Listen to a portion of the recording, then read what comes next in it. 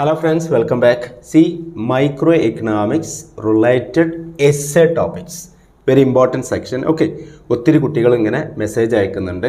ഏറ്റവും പ്രധാനപ്പെട്ട areas five mark topic ഏതായിരിക്കും ടു മാർക്ക് ടോപ്പിക് ഏതായിരിക്കും എസ് എ ടോപ്പിക് ഏതാണെന്ന് വരിക. ഓക്കെ അപ്പോൾ ഈ ഏരിയ നിങ്ങൾ സ്കിപ്പ് ചെയ്യേണ്ട. ഞാൻ പ്രഡിക്റ്റ് ചെയ്യാണ്. നിങ്ങളുടെ മൈക്രോ എക്കണോമിക്സ് വണ്ണിൽ കാലിക്കറ്റ് യൂണിവേഴ്സിറ്റി നിങ്ങളോട് ചോദിക്കാൻ പോകുന്ന എസ് എ ടോപ്പിക്കാണ് നമുക്കറിയാം പാർട്ട് സിയിലാണ് എസ് എ വരിക. നാല് ക്വസ്റ്റ്യൻസ് ഉണ്ടാവും. രണ്ട് ആൻസർ എഴുതിയാൽ മതി. ഓരോ ക്വസ്റ്റ്യനും പത്ത് മാർക്കാണ് ടോട്ടൽ ട്വന്റി മാർക്കാണ് അവിടെ സീലിംഗ് ഇല്ല എന്നുള്ളതും അറിയാം. ഇതിൽ നിന്ന് തന്നെ നിങ്ങൾക്ക് ധാരാളം ഫൈവ് മാർക്ക് ടോപ്പിക്സും കിട്ടും. അതുപോലെ തന്നെ ടു മാർക്ക് ക്വസ്റ്റ്യൻസും കിട്ടും. നല്ല രീതിയിൽ ശ്രദ്ധിക്കുക. ഒരു ഷോർട്ട് വീഡിയോ ആണ്. ഓക്കെ ഞാൻ ഫസ്റ്റ് എസ് എ ടോപ്പിക് എന്റെ മനസ്സിൽ പറയുന്നത് you will get the question related to law of variable proportions okay പ്രൊഡക്ഷനുമായി ബന്ധപ്പെട്ട നമുക്കറിയാം. ഷോർട്ട് റൺ പ്രൊഡക്ഷൻ ഫംഗ്ഷൻ ഉണ്ട്. ലോങ് റൺ പ്രൊഡക്ഷൻ ഫംഗ്ഷൻ ഉണ്ട്. അപ്പോൾ ഞാൻ ഈ ക്വസ്റ്റ്യൻ പറയുമ്പോൾ തന്നെ നിങ്ങൾ മനസ്സിലേക്ക് വരണം. You know returns to scale critically examine the law of returns to scale ആ ക്വസ്റ്റ്യന് ചിലപ്പോൾ എസ് എയിൽ വരാം അല്ലെങ്കിൽ ഫൈവ് മാർക്ക് വരാം. ഓക്കെ ഇനി എസ് എയിലൊക്കെ പഠിച്ചു ഡയഗ്രാം കാര്യങ്ങളൊക്കെ ഉഷാറായിട്ട് പഠിച്ചു ബട്ട് ക്വസ്റ്റ്യൻ പേപ്പറിൽ എന്ത് ചെയ്യും? നമ്മൾ എസ് എ പഠിച്ച ടോപ്പിക്ക് ചിലപ്പോൾ ടു മാർക്ക് ആവും. അവിടെ നിങ്ങൾ എന്ത് ചെയ്യണം? റൈറ്റിംഗ് സ്കില്ല് ഉപയോഗിക്കണം. എസ് എക്ക് പഠിച്ചത് ടു മാർക്ക് ചോദിച്ചാൽ എന്ത് ചെയ്യുക നാല് പോയിന്റ് കൊടുക്കുക. ടു മാർക്ക് നിങ്ങൾ സെക്യൂർ ചെയ്യുക. ഓക്കെ ചിലത് ടു മാർക്കോ ഫൈവ് മാർക്കോ പഠിച്ചത് പഠിച്ചത് എന്ത് ചെയ്യും? എസ് എയിൽ ചോദിക്കാം. ഓക്കെ ഇതിനൊക്കെ സാധ്യത ഉണ്ട് എന്നുള്ളത് മനസ്സിലാക്കുക. അപ്പോൾ ലോ ഓഫ് വേരിയബിൾ പ്രൊപ്പോർഷൻസ് അടിപൊളി ഇൻട്രൊഡക്ഷൻ കൊടുക്കുക ഷോർട്ട് റൺ പ്രൊഡക്ഷൻ ഫംഗ്ഷൻ ആണ്. ഓക്കെ പ്രൊഡക്ഷനുമായിട്ടുള്ള ഫണ്ടമെന്റൽ ലോ ആണ്. Okay fixed input variable input അതിൽ വരുത്തുന്ന മാറ്റങ്ങൾ വരുമ്പം മൂന്ന് സ്റ്റേജുകളായിട്ട് ഡിസ്കസ് ചെയ്യുന്നുണ്ട്. മനോഹരമായിട്ടുള്ള ഡയഗ്രാം ഈ ടോപ്പിക്സ് ഒക്കെ നമ്മൾ വീഡിയോസ് അപ്ലോഡ് ചെയ്തതാണ് മൈക്രോ എക്കണോമിക്സിന്റെ പ്ലേലിസ്റ്റ് നോക്കിക്കോളി. നിങ്ങൾക്ക് കറക്റ്റ് ചെയ്തിട്ട് എ ടു സെറ്റ് അതിൽ നിന്ന് മനസ്സിലാക്കാൻ പറ്റും. അപ്പോൾ എസ് എക്ക് ഫുൾ മാർക്ക് കിട്ടാൻ പറ്റുന്ന ഒരു ടോപ്പിക്കാണ് എന്ത്? ലോ ഓഫ് വേരിയബിൾ പ്രപ്പോർഷൻസ് ഒരു കാരണവശാലും സ്കിപ്പ് ചെയ്യരുത്.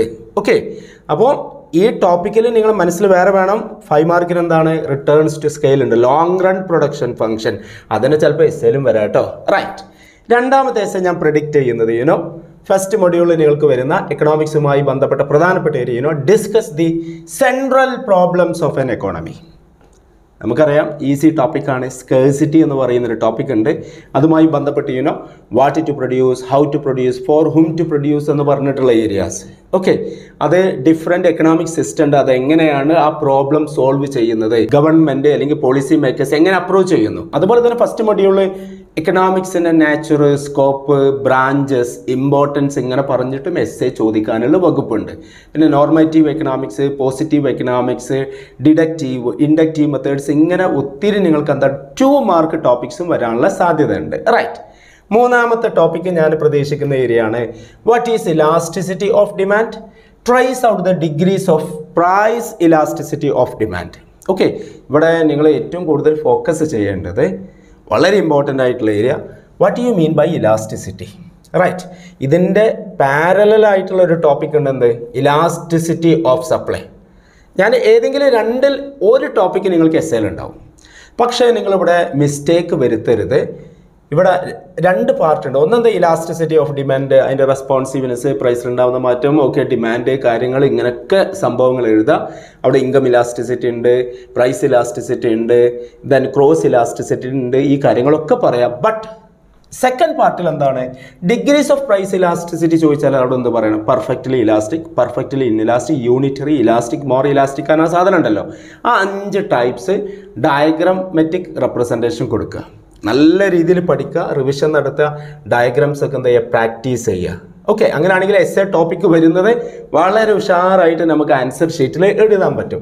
ഇതിന്റെ കൗണ്ടർ പാർട്ട് എന്താണ്? ഇലാസ്റ്റിസിറ്റി ഓഫ് സപ്ലൈ ഞാൻ പ്രഡിക്റ്റ് ചെയ്യുന്നത് ഈ ഇലാസ്റ്റിസിറ്റി ഓഫ് ഡിമാൻഡോ ഇലാസ്റ്റിസിറ്റി ഓഫ് സപ്ലൈയിൽ ഒരു എസ് എ ടോപ്പിക്ക് നിങ്ങൾക്ക് വരും. How can we measure the price elasticity of demand percentage method expenditure method graphic method ആ സംഭവങ്ങളുണ്ടല്ലോ. അതും ഫൈവ് മാർക്കിനും ടു മാർക്കിനും ഒക്കെ റെഫർ ചെയ്തോളൂ right one you know explain the consumers equilibrium using indifference curve analysis ഈ ടോപ്പിക്സ് ഒക്കെ ഞാൻ വീഡിയോസ് അപ്ലോഡ് ചെയ്തിട്ടുണ്ട്. കൺസ്യൂമേഴ്സ് ഇക്വിലിബ്രിയം അവിടെ കൺഫ്യൂഷൻ ആയിട്ട് ഐസോ കൊണ്ട് എഴുതരുത് കേട്ടോ. ആ കൺസ്യൂമേഴ്സ് ഇക്വിലിബ്രിയം നിങ്ങൾക്ക് indifference curve indifference map budget line അതിന്റെ ഇക്വിലിബ്രിയം പൊസിഷൻ കണ്ടീഷൻസ് എന്തൊക്കെയാണ്? ആ കാര്യങ്ങളൊക്കെ നോക്കുക മനോഹരമായിട്ടുള്ള ഗ്രാഫ് കൊടുക്കുക ഉഷാറായിട്ട് എഴുതുക ഇതേ ഏരിയയിൽ നിങ്ങൾക്ക് പ്രൊഡക്ഷനുമായി ബന്ധപ്പെട്ട എന്താണ്? How can you explain least cost input combination right അവിടെ നിങ്ങൾക്ക് എക്സ്പെക്ട് ചെയ്യുക you know state the producers equilibrium using with the help of isoquant okay രണ്ട് ടോപ്പിക്കും കമ്പയർ ചെയ്ത് നിങ്ങൾക്ക് പഠിക്കാം. ടു മാർക്കിന് വരാം ഫൈവ് മാർക്കിന് വരാം. Properties of isoquant five mark expect ചെയ്യാം. Isn't properties of indifference curve five mark വരാം.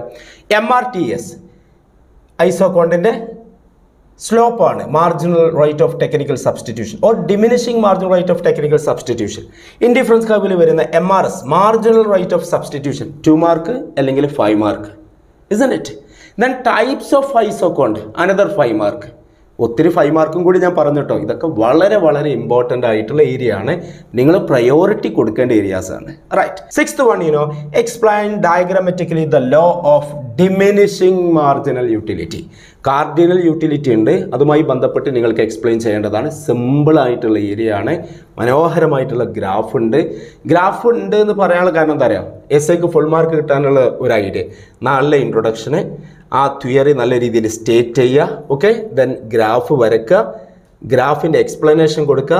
ക്രിട്ടിക്കലി എക്സാമിൽ എന്നൊക്കെ ചോദിച്ചാൽ ക്രിറ്റിസിസം എഴുതുക. ദെൻ കൺക്ലൂഡ് ചെയ്യാം ഇൻട്രൊഡക്ഷനും വേണം കൺക്ലൂഷനും വേണം. എസ് എ ആണ്. റൈറ്റ് അപ്പോൾ ആ രീതിയിൽ ഉഷാറായിട്ട് എന്താണ് law of diminishing marginal utility നിങ്ങൾക്ക് ഉഷാറായിട്ട് ചെയ്താൽ അതുപോലെ ഇക്വി മാർജിനൽ യൂട്ടിലിറ്റി എസ് എക്ക് വരെ വരാൻ സാധ്യത ഉണ്ട് കേട്ടോ. കാർഡിനൽ യൂട്ടിലിറ്റിയുമായി ബന്ധപ്പെട്ട്. ഓർഡിനൽ യൂട്ടിലിറ്റിയിൽ എന്താണ്? നമ്മളറിയാം ഇൻഡിഫറൻസ് കവാണ് ഓക്കെ അതേപോലെ revealed preference theory behavioural approach കാര്യങ്ങളൊക്കെ ഉണ്ട് എന്നുള്ളതും നമുക്ക് മനസ്സിലാക്കാം.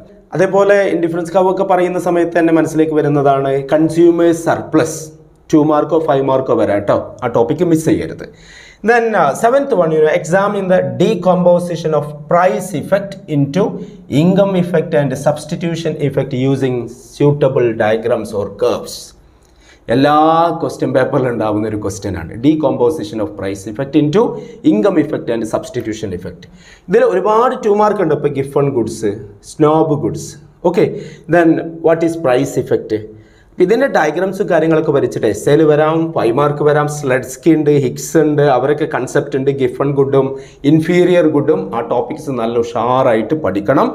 വളരെ വളരെ ഇമ്പോർട്ടന്റ് ആണ് ഡയഗ്രാമറ്റിക് റെപ്രസെന്റേഷൻ പ്രാക്ടീസ് ചെയ്യുക. ഓക്കെ ഞാൻ എസ് എക്ക് പ്രഡിക്റ്റ് ചെയ്യുന്ന last one ആണെന്ത് critically examine okay critically examine the revealed preference theory നമ്മുടെ പോൾ സാമുവൽസൺ ഡെവലപ്പ് ചെയ്ത റിവീൽഡ് പ്രിഫറൻസ് തിയറി ഇവിടെ കാര്യം മനസ്സിലാക്കാൻ ക്രിട്ടിക്കലി എന്ന് പറയുമ്പോൾ എന്താണ്?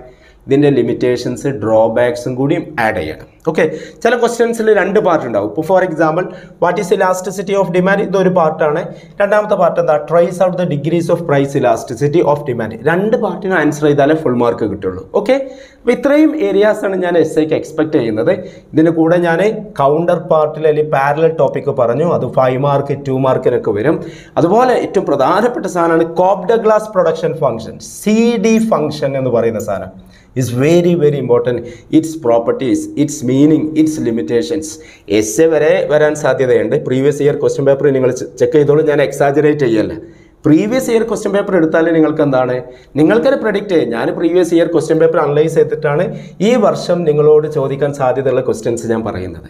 അപ്പോൾ Cobb Douglas production function you know this general formula Q equal to A into L raise to alpha into K raise to beta ഈ സാധനം. ഓക്കെ അതിന്റെ പ്രോപ്പർട്ടീസ് അതിന്റെ ലിമിറ്റേഷൻസ് കാര്യങ്ങൾ നല്ല രീതിയിൽ പ്രിപ്പയർ ചെയ്തോളൂ. ഓക്കെ ഇത്രയും ഏരിയാസാണ് നമുക്ക് എക്സ്പെക്ട് ചെയ്യുന്നത്. അതേപോലെ ഫൈവ് മാർക്കിൽ micro economics and macro economics scarcity first module വരുന്ന ഒത്തിരി ഏരിയ ഉണ്ട്. അതേപോലെ കോസ്റ്റുമായി ബന്ധപ്പെട്ട് കേട്ടോ. കോസ്റ്റുമായി ബന്ധപ്പെട്ട ഒരു ഫൈവ് മാർക്ക് നിങ്ങൾ ഉറപ്പിച്ചോളൂ. The relationship between marginal cost and average cost okay definitely we can expect a question അതുപോലെ ട്രഡീഷണൽ കോസ്റ്റ് ഉണ്ട് അതേപോലെ മോഡേൺ തിയറി ഓഫ് കോസ്റ്റ് അതുമായി ബന്ധപ്പെട്ട കാര്യങ്ങളൊക്കെ വളരെ ഇമ്പോർട്ടന്റ് ആയിട്ട് നോക്കി വെക്കുക ഇത്രയും കാര്യങ്ങളാണ് എനിക്ക് പറയാനുള്ളത്.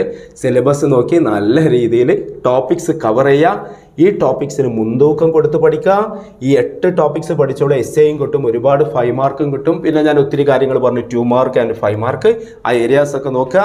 നല്ല കോൺഫിഡൻസോട് കൂടിയിട്ട് കൂടിയിട്ട് എന്ത് ചെയ്യുക? എക്സാമിന് അറ്റൻഡ് ചെയ്യുക. നല്ല മാർക്ക് സ്കോർ ചെയ്യുക. All the very best thank